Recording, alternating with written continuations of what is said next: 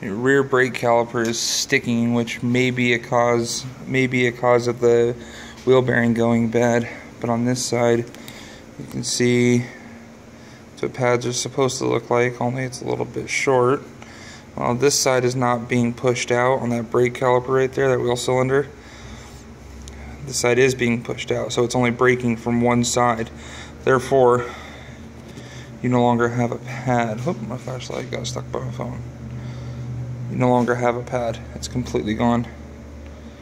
It's falling off in pieces. So you need a new wheel cylinder and you need a new set of brake pads before this can be driven.